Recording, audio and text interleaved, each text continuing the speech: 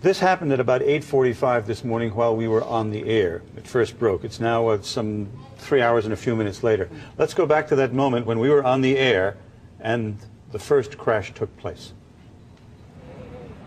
Can I get you autograph also?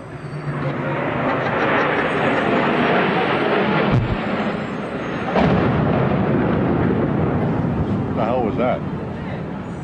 Sound like a plane crash.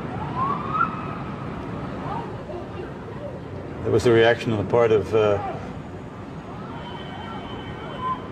Yo, close to you. Come to us. Come to us. Come to us. Come to us. Hey, Beth. What, what is that? Something, somebody hit uh, the World Trade Center or the... It's a trade Yes, the. World Trade trade Center. center. There's a fire on the upper floors. It was just an explosion.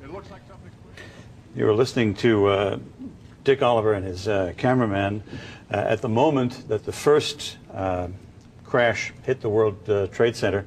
That was at 8:45 this morning. Uh,